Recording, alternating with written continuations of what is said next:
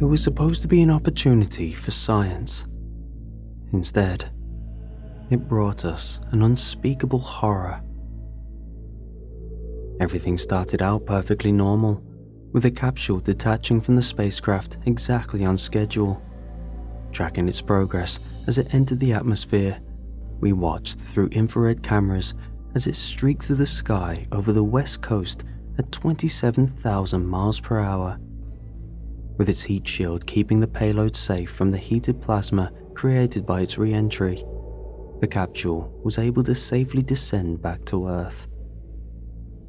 After two minutes of falling, the atmosphere managed to slow down the capsule to 1,074 miles per hour. At that point, the capsule deployed its drogue parachute to further reduce its speed. Entering a special use airspace over Utah, we kept track of the capsule and triangulated its position using radar. Sitting in a helicopter that circled the landing ellipse, I tried my best to scan the skies for any sign of the capsule. To say that I was excited was an understatement. This mission had been years in the making, and now, two years, 11 months, and four days after collecting samples from an asteroid, we would see the return of the capsule and its precious payload. As a member of the recovery team, I would be among the first people to see and touch the capsule after its return to Earth. It was a great honour, and although my role was small, I knew I was playing my part in a larger system. Main chute deployed, the spacecraft command team called out on the radio. Looking out of the window of the helicopter, I began searching for the chute and smiled when I spotted it. It's there, just to our east, I called out to my team leader. Descending at 11 miles per hour, the capsule hung under its main parachute as it went through the final moments of its journey. Moving closer towards it, we circled the descending capsule and watched as it made a touchdown. Once the capsule was firmly on the ground, we then descended and landed a few yards away from it. We were joined on the ground by three other helicopters, which contained the safety team and the environmental sampling team. The first person to approach the capsule was a military officer. Since the landing zone was in the middle of the Department of Defense test and training range, there was a small possibility that there were unexploded ordnance on the location. Luckily for us, None were detected, and we were given the green signal to approach. Following our carefully rehearsed procedure, the environmental team moved towards the capsule and began testing the air around it, as well as marking and taking samples of the ground. Meanwhile, us in the recovery team brought a metal crate and placed it on top of a cargo net that was connected to a nearby helicopter thanks to a long line. The crate will act as a cradle for the capsule during its aerial transport back to the airfield, where our temporary clean room was. Once in the clean room, the capsule will be dusted off, disassembled, and the sample canister removed and placed into a nitrogen glove box for nitrogen purging. Getting close to the capsule and looking down on it, I couldn't help but smile. This object had traveled billions of miles in space, saw things humans can only dream of seeing, took samples from an asteroid, and now it was back on Earth. It truly was a marvel and a great accomplishment for space exploration. However, I didn't let my awe and admiration distract me from my task. Following procedure, Dan and I my partner for this part of the recovery moved to stand next to the capsule before gently lifting up the hundred pound object, making sure not to drop it. We took our time carrying it towards the crate. It was at this point I noticed something strange. While lifting the capsule, I thought I heard a tapping sound coming from inside it. This surprised me, since I knew that it wasn't supposed to be making such noise. However, as suddenly as it started, the ticking noise immediately stopped, making me wonder if it really happened or if it was just my imagination. Seeing that Dan didn't react to the sound, I decided that it was most likely just my imagination. Keeping quiet about it so that I won't embarrass myself, I returned my focus to my job and slowly lowered the capsule to its crate. Once it was secure, we then began tightly wrapping a tarp around the capsule and sealing it with tape. With that done, we secured the cargo net and signaled that the capsule was now ready for transport. Within a few minutes, the helicopter took off and slowly lifted the capsule into the air. We watched as the capsule and its precious cargo hung under a long line as the helicopter carried it back to the airfield.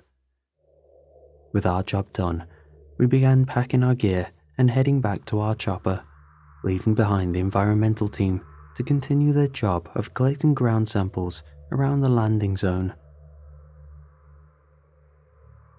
By the time we arrived at the airfield, the capsule was already inside the clean room, where technicians will clean and open up the capsule so that the curation team can purge it with nitrogen and protect the sample canister from possible contamination. With nothing more to do, us and the recovery team moved to one of the nearby hangars that was temporarily converted to act as our break room. Grabbing food and taking a seat next to Dan, I gave him a quick pat on the back and congratulated him for our successful recovery. Just like the rehearsals, I told him with a smile. Yeah, he said cheerfully, before suddenly frowning. There is something bothering me, though. This piqued my interest as I raised an eyebrow and stared at him. What is it? It's the capsule, he said. I'm not sure, but I thought I heard something from it. Heard something? I muttered. Was it a tapping sound? Dan's eyes immediately widened as he nodded. Yeah, you heard it too? I did, I told him, but I shrugged it off when it stopped. I ignored it too. At first, I thought it might have been loose samples within the canister shaking as we moved it, but then I heard it again. After we wrapped the capsule and got it secure on the cargo net, I swear I heard the tapping again. I don't know if you heard that too. You were busy going through the checklist at the time, but I heard it. I don't know. I'm not sure if it's anything of concern, but it just seems odd. Maybe I'm just overthinking, but. The rest of what Dan was about to say was cut off when the sound of a sudden commotion occurred on the other side of the hangar. Turning around, I saw that one of our team members was being tackled by a man who wore a white biosuit. Seeing the protective equipment on the man, I quickly realized that he was from the curation team. But what he was doing here and why was a mystery. Getting up and moving towards the scene, I saw our team member frantically attempt to get the other man off of him, but to no avail. The other man seemed to be stronger and kept him pinned. Reaching the two first, Dan quickly grabbed the man from behind and lifted him off our team member. As he did so, the other man struggled and flailed his arms as he gave out a hiss that I never thought a person could ever make. Wrapping his hands around the man, Dan did his best to keep him restrained as I moved forward to help him. However, I suddenly stopped in my tracks when I saw the man's face. The man's eyes were wrong, and they were bulging out of his sockets. In fact, his eyes looked too big to fit in his eye sockets, as they were stretching them to the point of tearing. Standing there, frozen in sudden fear, I looked on with horror as these unnaturally large eyes stared at me. I was only snapped out of my catatonic state when I heard Dan struggle and call out for help. We need to pin him on the ground, Dan said. He's fighting harder than I expected, and I don't know if I can keep this up. Returning my attention back to the situation, I nodded my head and moved towards them. By that point, the other members of the team had arrived, as two of them began helping the man who was attacked. Meanwhile, another one was rushing towards a nearby exit, shouting that they'll call the security team. Focusing my attention on the attacker, I took a step forward and prepared to grab the man's arms, which continued to flail around. However, before I could put my hands on him, I suddenly jerked back when I saw spider like legs sprouting out of his eye sockets. These legs then helped each eye pop out of its socket, allowing it to crawl on the man's face. Letting out a curse, I stared in disbelief as his eyes crawled away, leaving behind a deep, empty void where they used to be. However, they did not remain empty for long, as a new pair of eyes crawled out of its depths. This pair soon exited the eye sockets too and crawled down his face as they followed the path the previous two took. Meanwhile, the initial two pairs crawled down the man and were now moving to Dan's arms, which were still wrapped around him. At that point, the man was still flailing his arms and struggling from Dan's grip. However, the moment he felt the eyes crawl up one of his exposed arms, he immediately let go. What the hell? Dan remarked as he saw the two eyes that managed to get on his arm. As they crawled, I couldn't help but notice Dan wincing in pain as they moved on his skin. In an attempt to get them off, he used his free arm to swat away the pair going up. However, this only resulted in him letting out a hiss of pain as the eyes remained on his arms. It seemed like their long, spider like legs were stabbing the skin of his arm making it difficult to get them off. Seeing him struggle, I moved up to try to help him, but was immediately blocked by the man whose eyes still released these unnatural little horrors. Standing in front of me and with eyes crawling all over his body and staring at me, I felt frightened and unsure what to do. Then, without warning, a couple of the eyes leapt from the man and headed straight towards me. I was lucky enough to react quickly to this, resulting in the eyes landing on the concrete floor. However, these little creatures were persistent and quickly turned their gaze back towards me. Slowly backing away, I felt that they were only moments away to make another leap. But before they could do so, John, another member of the team, rushed forward and began stomping on the eyes. As he did this, though, the remaining eyes that were still crawling on the man leapt on him, landing right on his head. Moving his hands on his head, he tried his best to pull them off, but their legs had dug into his skin, making it impossible. Screaming in pain, John was helpless as the eyes began crawling down his face before settling on his eyes. Boring themselves in, they broke through his pupils and planted themselves inside his sockets. It was a terrible sight, which was only made worse by John's screams. They're in my head. They're boring into my brain. This was mixed with Dan's screams, who I heard calling out for help. At that point, I ran.